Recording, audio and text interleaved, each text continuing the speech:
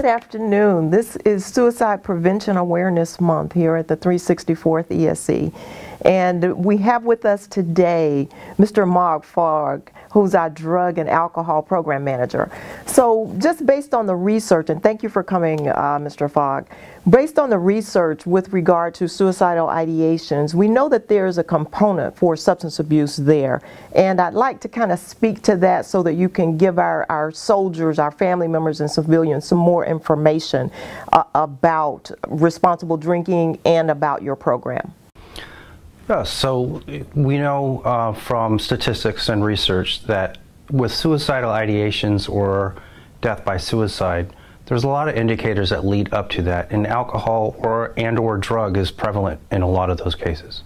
Okay, and that, and that's certainly true. And I don't think that people or anyone actually realizes the effect of the alcohol and what might happen with their thought processes. So it's just important, especially if there are events going on, there's alcohol on board. Are they, you know, what do those risks look like?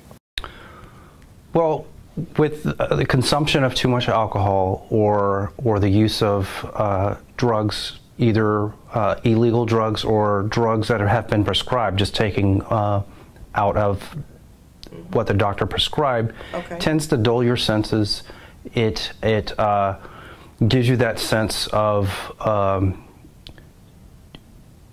you lose responsibility of, of, yourself and you and you tend to take more risks. So their inhibitions have been lowered because of the alcohol. So you mentioned something really important about a prescription drug that's actually under a doctor's care but actually you're not taking it as as prescribed. And that puts you at risk. Can you speak a little bit more as uh, about the amount of alcohol that could be consumed that, that's going to be a problem down the road? Well, we promote uh, responsible drinking, not you know abstinence from drinking. Um, so with responsible drinking, generally the public uh, soldiers have no real uh, long-lasting issues and problems with that. However, everybody's different.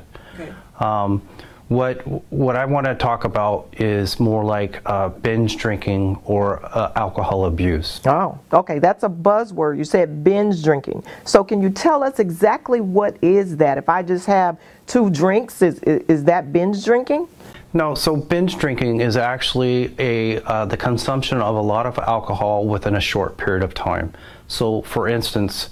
Um, for men, it would be five drinks within like a two-hour time frame, or for a female, four drinks within a two-hour time frame, with the intent of of getting that buzz or or drunk, which is actually above the zero point uh, or eight um, blood alcohol content. Right. Okay.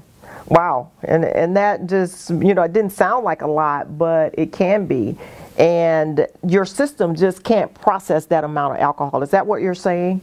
Right. You know, for everybody, you know, the the general term uh, is like one beer or or uh, alcoholic beverage per hour.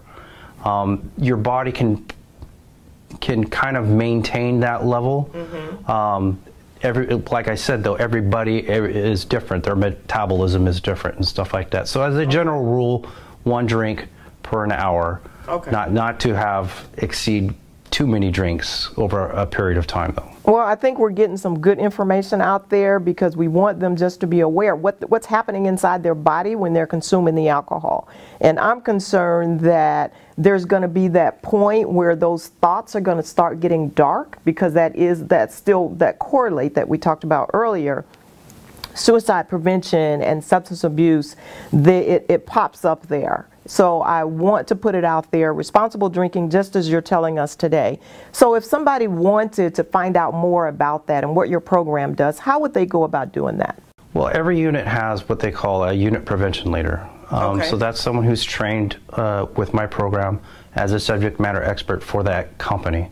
Um, their primary duty is drug testing. Okay. However, their secondary mission is to provide education and training to the unit, to the soldiers, as well as to be the advocate for the soldier at the unit. Okay, so that's something that every unit has, and they need to be able to be able to talk to that person and be safe about it. Is that what I'm hearing? Yeah, so if, say for instance, somebody um, does have an alcohol or drug issue or problem, um, what they can do is go forward to that subject matter expert, the UPL, Okay. um, and advise that they have this problem. Um, that will go all the way up to the commander, um, what is called the limited use policy.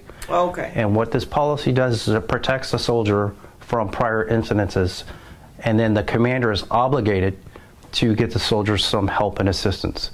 The only caveat to that is is that that help and assistance is usually provided through the soldier's private health care insurance. Okay. But if they don't have health care insurance, the Army does have some programs at low cost or no cost to the soldier to get some sort of uh, counseling or treatment. So this is great information, and you're saying that there is a provision for that if a soldier wants to reach out, because they're always going to be concerned about their career, but we do have that provision, and it's under that policy. So I appreciate you sharing that. But because we're now in, in the grips of just making sure that accurate information is out there, I'm so grateful for the opportunity uh, to have you share that information. We want our soldiers to know there's provisions. We want them to be aware of what responsible drinking looks like and that we're could be at risk for binge drinking, which is putting our body sensory overload and we can't process it and that there's that possibility of having those dark thoughts. So with that, we just want to make it safe because that's what we do here in the 364th is when has, have someone come forward and that that seeking help is a sign of strength. So we want our soldiers to know that we care and we want them to be here tomorrow. Absolutely.